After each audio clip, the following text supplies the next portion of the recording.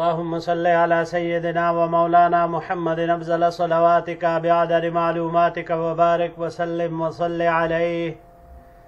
بسم الله الرحمن الرحیم عزیز طلباء کرام، امید ہے انشاءاللہ العزیز آپ سب خیر و عافیت کے ساتھ ہوں گے.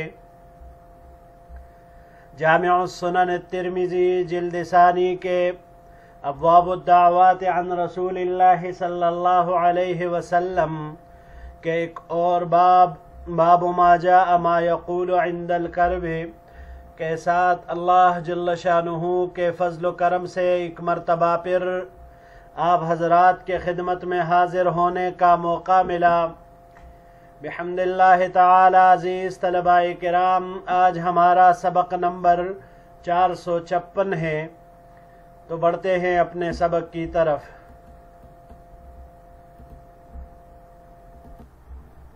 باب ما یقول عند الکرب، یہ باب اس بیان میں ہے کہ فکر اور پریشانی کے وقت کون سے اذکار کرنے چاہیے، کیا کہنا چاہیے۔ تو دو روایتیں، دو قسم کی دعائیں یہاں پر عزیز طلباء کرام امام ترمیزی رحمہ اللہ ذکر فرما رہے ہیں۔ وبه قال حدثنا محمد بن بشار، قال حدثنا معاذ بن هشام، قال حدثني أبي عن قتادة عن أبي العالية عن ابن عباس رضي الله تعالى عنهما. میں روایت کی محمد ابن بشار نے، انہوں نے، معاذ ابن ہشام سے، انہوں نے کہا، مجھے روایت کی میرے والد ہشام نے، انہوں نے قطارہ سے، انہوں نے ابو العالیہ سے، انہوں نے ابن عباس رضی اللہ تعالی عنہما سے۔ ان النبي صلى الله عليه وسلم كان يدعو عند الكرب، لا اله الا الله الحليم الحكيم. لا اله الا الله رب العرش العظيم. لا اله الا الله رب السماوات والارض ورب العرش الكريم. حضور نبی کریم صلی اللہ علیہ وسلم بے چینی اور پریشانی کے وقت یہ دعا فرمایا کرتے تھے، یہ ذکر فرمایا کرتے تھے۔ اللہ کے علاوہ کوئی معبود نہیں ہے۔ وہ بردبار حکمت والے ہیں، اللہ کے علاوہ کوئی معبود نہیں ہے۔ وہ عرش عظیم کے پروردگار ہیں۔ لا الہ الا اللہ، رب السماوات والارض ورب العرش الکریم۔ اللہ کے علاوہ کوئی معبود نہیں ہے۔ وہ آسمانوں اور زمین کے پروردگار ہے اور معزز عرش کے پروردگار ہے۔ وبه قال حدثنا محمد بن بشار قال حدثنا ابن أبي عدي عن هشام عن قتالة عن أبي العالية عن ابن عباس عن النبي صلى الله عليه وسلم بمثله السند کے ساتھ بھی ابن عباس رضی اللہ تعالی عنہما سے اسی طرح روایت مروی ہے وفي الباب عن علي هذا حدیث حسن صحیح۔ اس باب میں حضرت علی رضی اللہ تعالی عنہ سے روایت مروی ہے، یہ حدیث حسن صحیح ہے۔ وبه قال حدثنا أبو سلمة يحيى بن المغيرة المخزومي المديني وغير واحد قالوا حدثنا ابن أبي فديك عن إبراهيم بن الفضل عن المقبوري عن أبي هريرة رضي الله تعالى عنه. ہمیں روایت کی ابو سلمہ یحییٰ ابن المغیرہ المخزومی المدینی نے اور کئی دیگر حضرات نے فرماتے ہیں، تمام حضرات کے ہمیں روایت کی، ابن ابو فدیق نے، انہوں نے ابراہیم ابن الفضل سے، انہوں نے مقبوری سے، انہوں نے ابو حریرہ رضی اللہ تعالی عنہ سے، ان النبی صلی اللہ علیہ وسلم کان اذا اہمہ الامر، رفع رأسه الى السماء فقال، سبحان اللہ العظیم وإذا اجتهد في الدعاء قال يا حي يا قيوم ابو حریرہ رضی اللہ تعالیٰ عنہ کہتے ہیں کہ جب حضور نبی کریم صلی اللہ علیہ وسلم کو کوئی معاملہ مغموم و بے چین کرتا تو آپ علیہ السلام آسمان کی طرف سر اٹھاتے اور کہتے، یا سبحان اللہ العظیم۔ اور جب دعا میں حضور نبی کریم صلی اللہ علیہ وسلم پوری کوشش فرماتے تو یا حیو یا قیوم، یہ پڑھتے حاضہ حدیث غریب یہ حدیث غریب ہے۔ جی بڑھتے ہیں اگلے سلائیڈ کی طرف۔ باب ما جاء ما يقول اذا نزل منزلا۔ یہ باب اس بیان میں ہے کہ جب کوئی مسافر کسی منزل پر اتلے تو اسے کیا دعا کرنی چاہیے؟ وبه قال حدثنا قتيبة قال حدثنا الليث عن يزيد بن أبي حبيب عن الحارث بن يعقوب عن يعقوب بن عبد الله بن الأشج عن بسر بن سعيد عن سعد بن أبي وقاص رضي الله تعالى عنه عن خولة بنت الحكيم السلمية رضي الله تعالى عنها عن رسول الله صلى الله عليه وسلم قال ہمیں روایت کی قطعبہ نے، انہوں نے روایت کی لیس سے، انہوں نے یزید ابن ابو حبیب سے، انہوں نے حارث ابن یعقوب سے، انہوں نے یعقوب ابن عبداللہ ابن الاشد سے، انہوں نے بسر ابن سعید سے، انہوں نے سعد ابن ابی وقاص رضی اللہ تعالی عنہ سے، اور انہوں نے حضرت حولہ بنت الحکیم السلمیہ رضی اللہ تعالی عنہ سے، اور انہوں نے حضور نبی کریم صلی اللہ علیہ وسلم سے ارشاد نقل کیا ہے کہ آپ علیہ السلام نے فرمایا، من نزل منزلا ثم قال اعوذ بکلمات اللہ التامات من شر ما خلق، لم يضره شيء حتى يرتحل من منزله ذلك. آپ علیہ السلام نے ارشاد فرمایا کہ جو شخص راستے میں، سفر میں کسی منزل پہ اترے اور وہ وہاں پر یہ کلمات پڑھے اعوذ بکلمات اللہ التامات من شر ما خلق. میں اللہ جل شانہ کے کامل ارشادات کی پناہ لیتا ہوں اس کے مخلوقات کے شر سے۔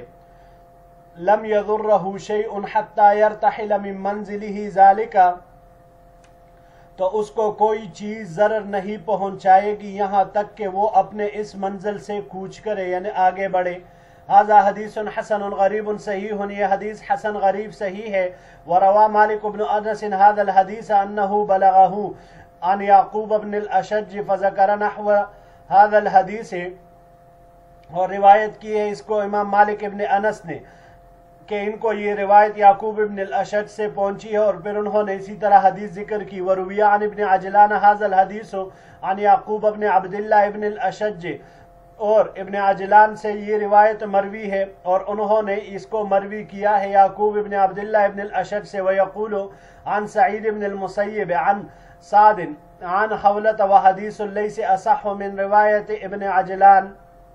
اور وہ کہتے ہیں کہ سعید ابن المسیب سے، انہوں نے سعد رضی اللہ تعالیٰ عنہ سے اور انہوں نے حولہ رضی اللہ تعالیٰ عنہ سے امام ترمیزی رحمہ اللہ فرماتے ہیں کہ لیس کی روایت، یہ ابن عجلان کی روایت سے زیادہ صحیح ہے۔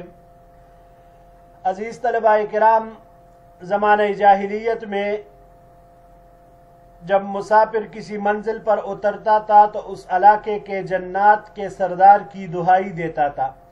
یعنی خود کو اس کے پناہ میں دیتا تھا اور اس کی پناہ طلب کرتا تھا، اسی سے مدد طلب کرتا تھا۔ جس کی وجہ سے جنات خود کو کچھ اور ہی چیز سمجھنے لگے تھے۔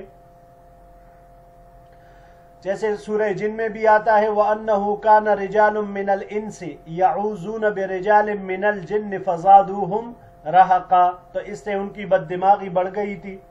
تو حضور نبی کریم صلی اللہ علیہ وسلم نے اس کے بدلے میں اس دعا کی تلقین فرمائی۔ کہ اس سے وہی مقصد آپ لوگوں کو حاصل ہوگا اور فائدہ سب سے بڑا یہی ہوگا کہ کوئی بھی چیز آپ کو ضرر نہیں پہنچا سکے گی۔ اور دوسرا یہ کہ اس سے انسان کا اپنے رب کے اوپر یقین بڑھے گا، ان کے درمیان رشتہ، تعلق مضبوط ہوگا۔ لہٰذا جہاں بھی کوئی اترے تو اس دعا کا اہتمام کرنا چاہیے۔ بڑھتے ہیں جی اگلے سلائیڈ کی طرف۔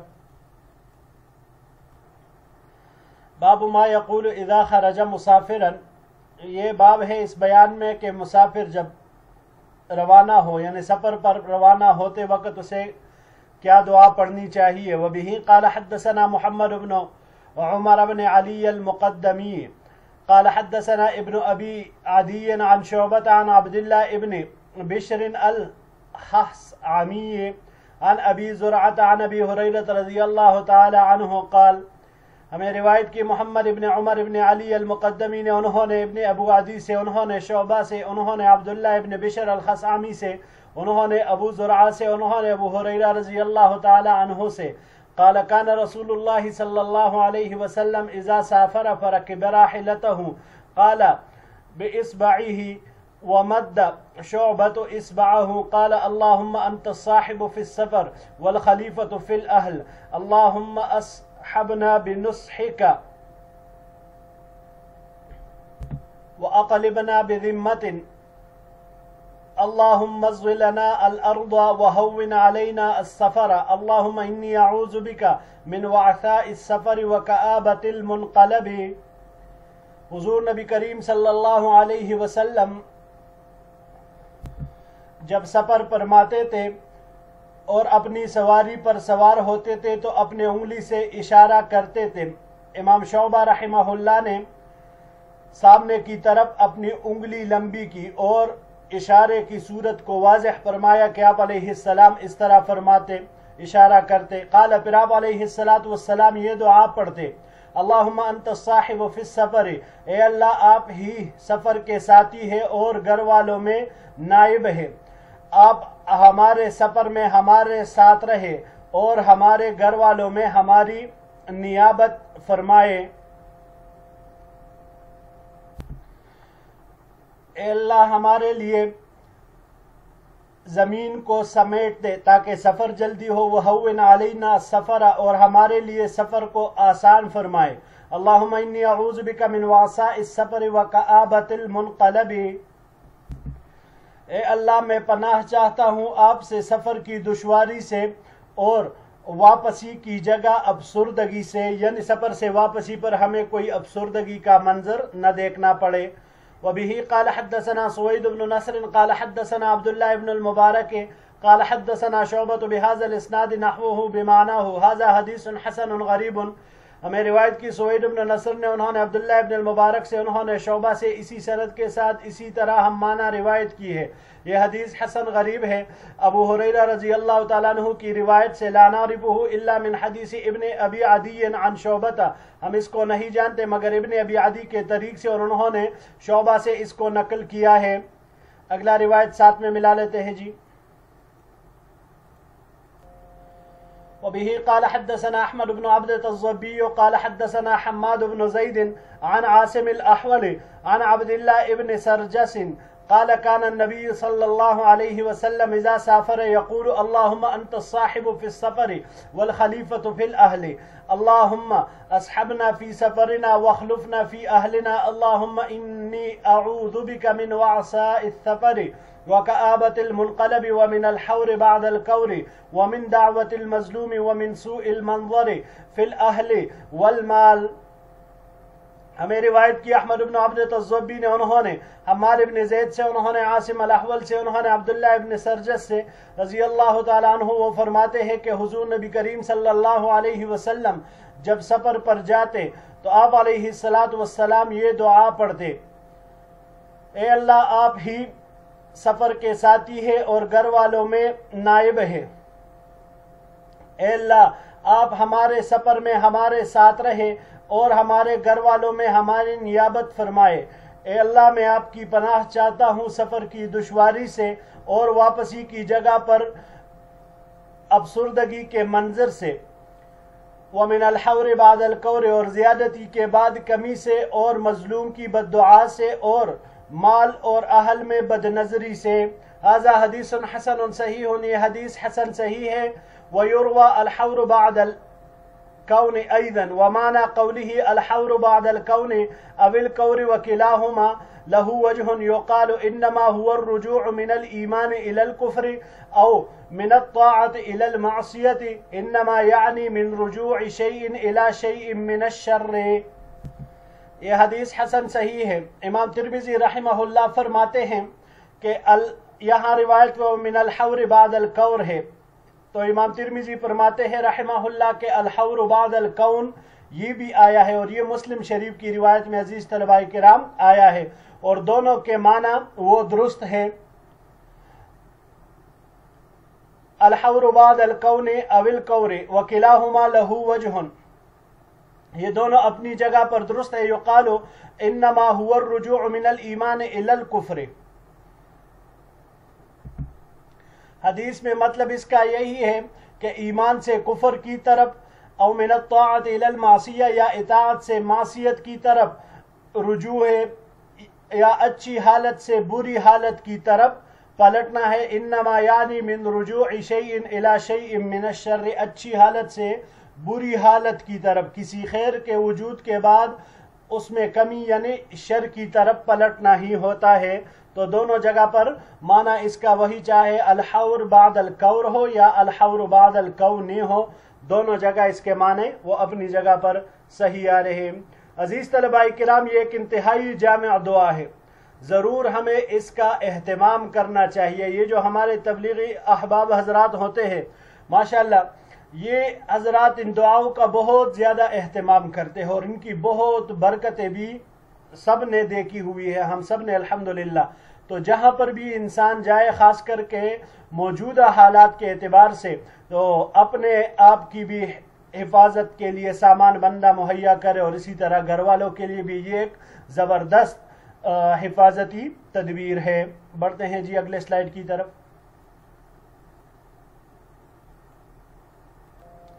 باب ما جاء ما يقول اذا رجع من سفره یہ باب اس بیان میں ہے کہ جب سفر سے لوٹے تو کیا ذکر کرے؟ وبه قال حدثنا محمود بن غيلان قال حدثنا أبو داود قال أنبأنا شعبة عن أبي إسحاق قال سمعت الربيع بن البراء بن عازب يحدث عن أبيه ہمیں روایت کی محمود ابن غیلان نے، انہوں نے ابو داود سے، انہوں نے کہا، ہمیں خبر دی شعبہ نے، انہوں نے ابو اسحاق سے۔ ابو اسحاق نے کہا کہ میں نے ربیع ابن البراء ابن عازب رضی اللہ تعالی عنہ کو فرماتے ہوئے سنا کہ وہ حدیث بیان کر رہے تھے اپنے والد براء ابن عازب رضی اللہ تعالی عنہ سے، ان النبی صلی اللہ علیہ وسلم کان اذا قدم من سفر قال، آئبونا تائبونا عابدونا لربنا حامدون۔ حضور نبی کریم صلی اللہ علیہ وسلم جب کسی سفر سے لوٹتے تو یہی دعا پڑھتے آئبونا تائبونا، عابدونا، لربنا حامدون۔ ہم واپس ہو رہے ہیں، اپنی لغزشوں سے توبہ کرتے ہیں۔ ہم عبادت کرنے والے ہیں، اپنے پروردگار کی تعریف کرنے والے ہیں۔ هذا حديث حسن صحيح یہ حدیث حسن صحیح ہے وروى الثوري هذا الحديث عن أبي إسحاق عن البراء ولم يذكر فيه عن الربيع ابن البراء.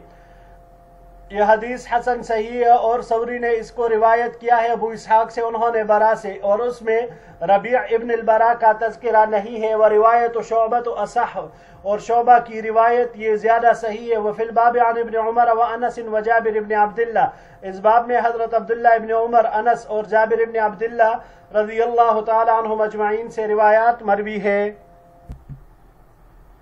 باب منه ایک اور باب ہے اسی طرح وہ بھی قال حدثنا علی بن حجر، قال حدثنا اسماعیل بن جابر عن حمید عن انس رضی اللہ تعالی عنہ، ہمیں روایت کیا علی بن حجر نے، انہوں نے اسماعیل بن جابر سے، انہوں نے حمید سے، انہوں نے انس رضی اللہ تعالی عنہ سے، ان النبی صلی اللہ علیہ وسلم كان اذا قدم من سفر فنظر الى جدران المدينه اوزع راحلته، وان كان على دابه حركها من حبها.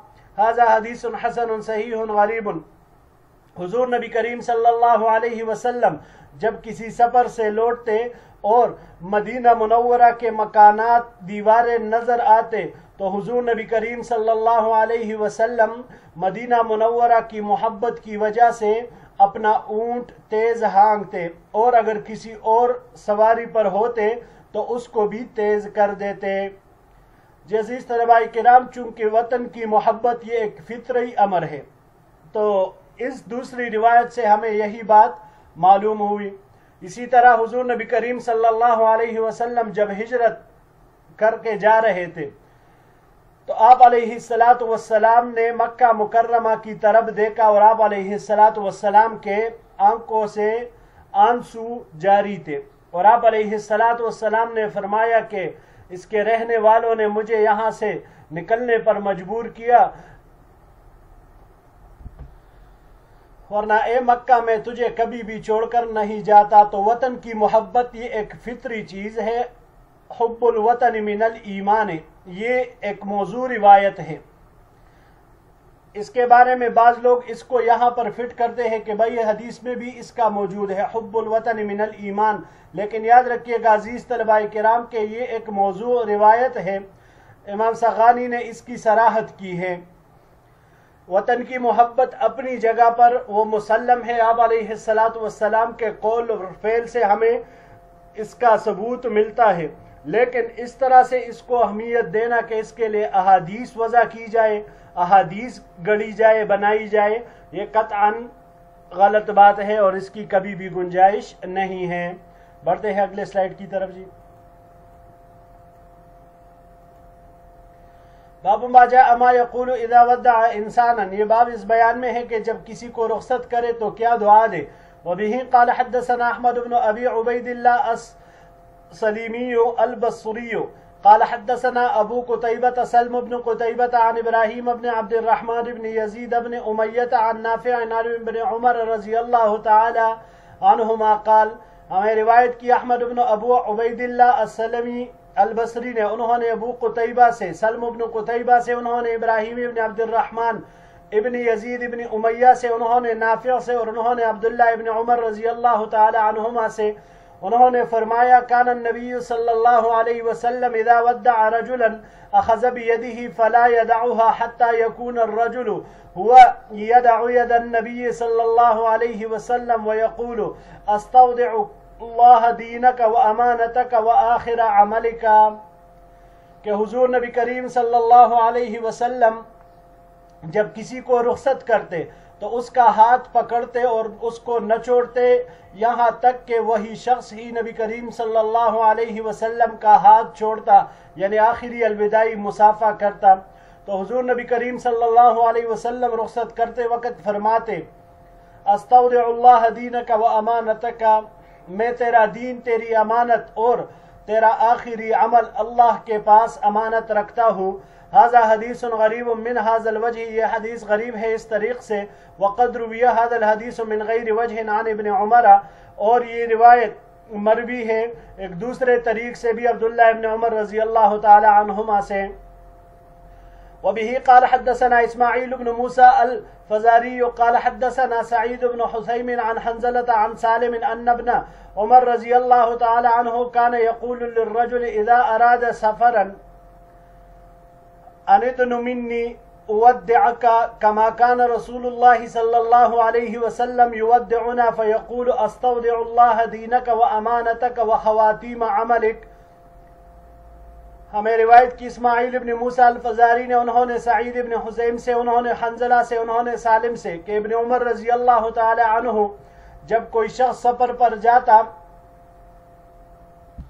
تو ابن عمر رضی اللہ تعالی عنہما اس سے کہا کرتے کہ میرے قریب آ، میں تجھے اس طرح سے رخصت کروں جس طرح ہمیں حضور نبی کریم صلی اللہ علیہ وسلم رخصت فرماتے۔ پھر آپ علیہ السلام، حضور نبی کریم صلی اللہ علیہ وسلم کی یہ دعا عبداللہ ابن عمر رضی اللہ تعالی عنہ نقل فرماتے کہ آپ علیہ السلام ہمیں یہ دعا دے کر رخصت فرماتے۔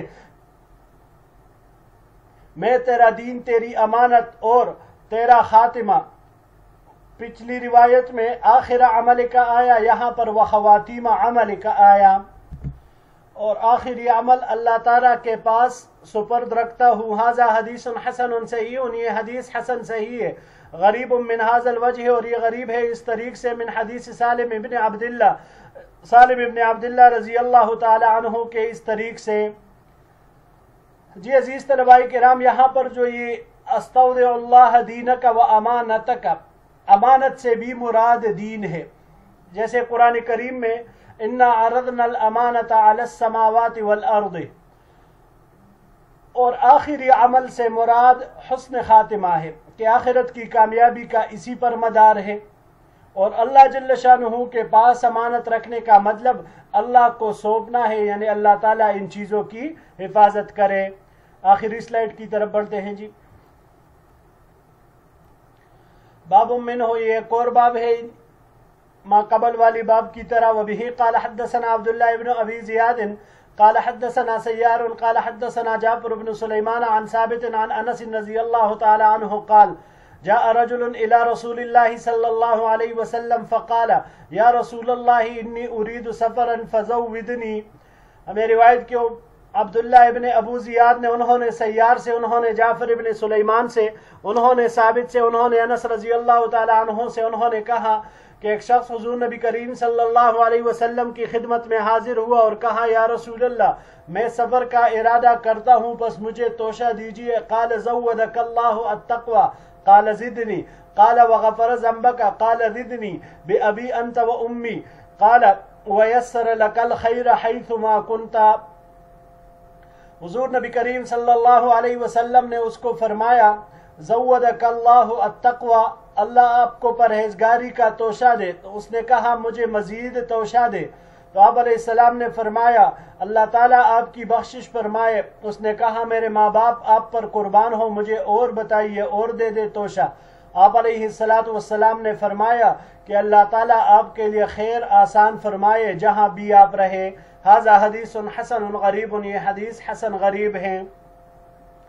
باب منہ یہ ایک اور باب ہے۔ اسی طرح وہ بھی قال حدثنا موسى بن عبد الرحمن الكندي والكوفي قال حدثنا زيد بن حباب۔ قال اخبرني اسامه بن زيد عن سعيد المقبوري عن ابي هريره رضي الله تعالى عنه ہمیں روایت کی موسیٰ ابن عبد الرحمن الکندی الکوپی نے، انہوں نے زید ابن حباب سے انہوں نے کہا، مجھے خبر دی اسامہ ابن زید نے۔